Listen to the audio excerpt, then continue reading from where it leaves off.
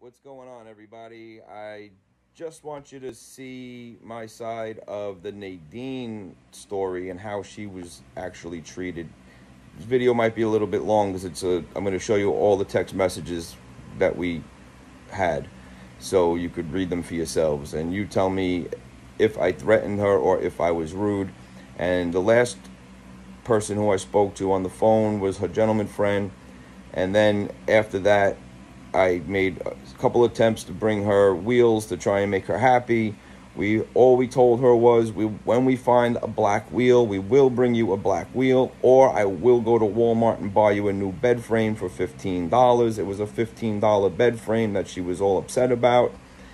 I didn't have a problem, re, you know, replacing the frame obviously at that point, but at that time, before I could do anything further, she was all upset that she received these two wheels and didn't want to wait anymore for the black ones that she already went on Google and made a review. And I already spent lots and lots of time going to her house. I gave her free man. We went to the house to try and fix all the boxes that were screwed up. We really did try our hardest.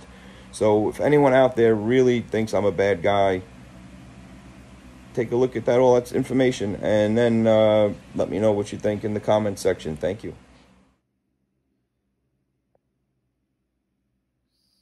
So this is the messages that I received from Nadine.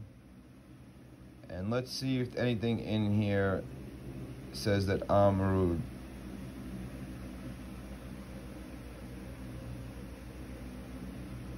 Alright. I don't see anything. I don't see anything.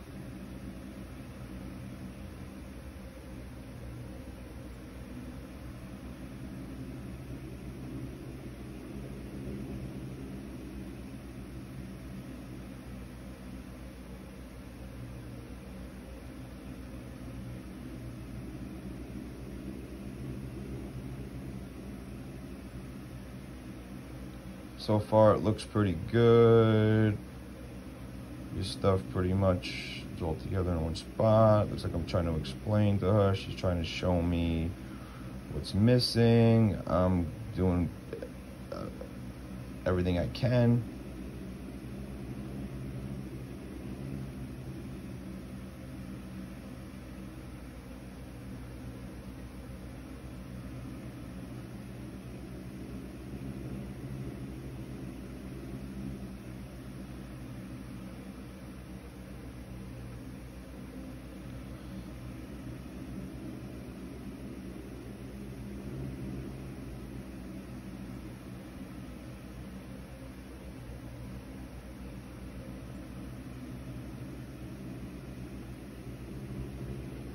I sent the guys to go move boxes around for her for free. I sent her a free guy.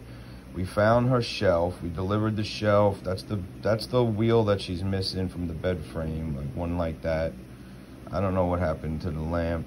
Um, not the shades, the entire lamp. Okay.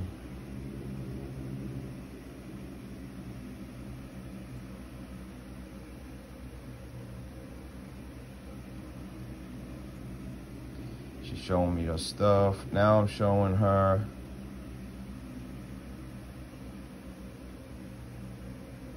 What the stuff looked like. And was that when I found it?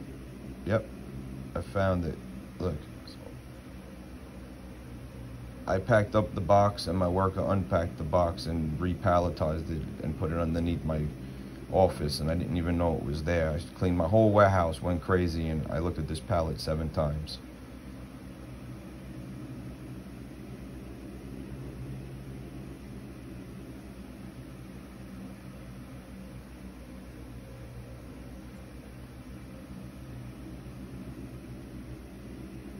So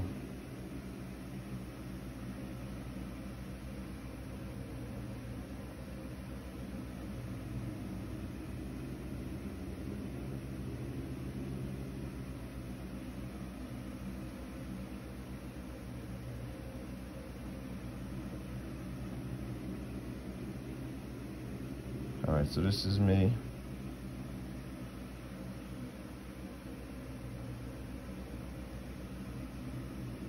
Sent them back again, another time to help her.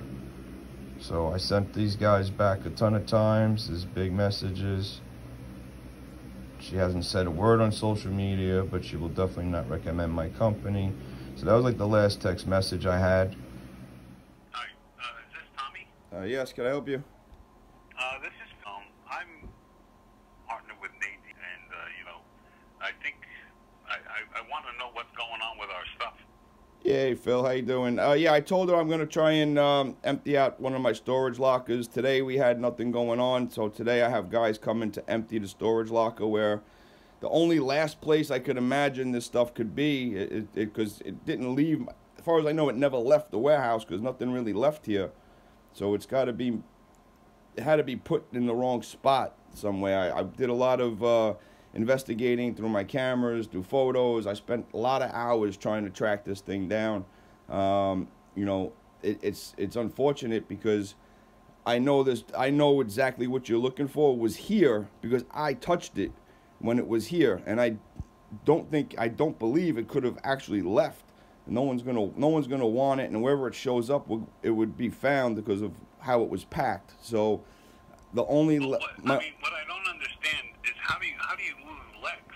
I mean, seriously. Sorry. How do you lose legs to a table? I mean, it, we have Thanksgiving the, coming up. The the table. table. The tables were placed in a large box. Okay, if you read our paperwork, we we, we kind of don't. We try not to take responsibility for loose and unpacked items. I packed the box. I packed the legs up in a box. The legs are in a box. I don't know where the box went. I'm looking for this box. I've been spending a week spending thousands. I was spending money every day looking for this box, dude. I haven't slept. Uh, this box is killing me, dude. I'm looking for your box. I've been trying. I have I have three I have I have three I have three listen, I have three guys coming today and their only objective is to find your box. Okay? And I'm only going to be I have you have like I told Nadine, we have two ways we could go. I I'm personally taking a, a, a attention to this and trying to find the box. Legally, I could throw my paperwork at you and give you a dollar a pound and walk away from it, and you could give me all the bad reviews you want. I'm not trying to go that route, okay? I want to find you your stuff. But if you're gonna get crazy, nasty, screaming, argumentative, I'm gonna, I'm, I'm, I'm, I'm gonna, I'm gonna, I'm gonna, I'm gonna go right to my contracts and put you through insurance. So, I'm trying to be as nice as I can about it. So I don't want to be bullied, pushed. I don't want no one to give me any ultimatums like I'm gonna give you a bad review. I'm I'm starting. No, but I'm I'm trying to. I'm, I've explained to Nadine. I'm trying to explain to you, and then you're like, well, how does it how does it happen? And you're getting upset. I understand you're upset. I'm just as upset as you are, sir. I'm just as upset as you are. But, you, but you're also missing the wardrobe. I the the wardrobe. I'm trying to find the stuff. I understand that, and that's what I'm saying. I, I know what I'm missing. You don't got to reinstate what I'm missing. I already okay. know what I'm missing. I'm going. I have guys here today, specifically, okay. specifically, to spend the whole day to find your stuff. If I can't find it today, then I have to find another route or another avenue to fix your problem, which I spoke to Nadine about again. And if you're nice with me, I'm gonna be nice with you. And if you get nasty with me, I'm gonna send you right to my insurance. I'm gonna I'm gonna block your calls. So that's. I get it. it it's un, it's unfortunate for you. It's unfortunate for me. And look, I understand you guys are upset. I'm really fucking annoyed, man. I packed that box myself. Excuse my language. I packed your box myself, and I put your box in storage myself. And that box I packed is not here, and that is twice a problem. So I don't. So you could be as mad as you want. I'm twice as pissed off as you are because my guys did something that I don't know what the hell they did, and it's costing me, and I'm aggravated like to no end. So please, I really don't. I don't need the stress coming from your side. I really want to help you guys. I really, I'm trying really, really hard right now. All right. I'm I'm going. Listen, I have I have my guys here for the whole day. I'm gonna empty what what what we did what happened in my warehouse is we had the town kind of screwed me up. They made me move some stuff from outside to inside, and your stuff was all nicely wrapped, sealed, and, and, and containerized. But I think during the shuffle, it's possible that this one last customer's stuff could have got intertwined with a box or two.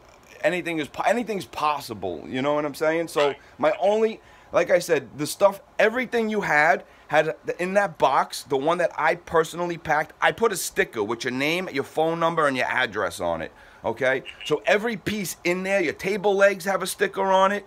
Your your your black folding chair has a sticker on it.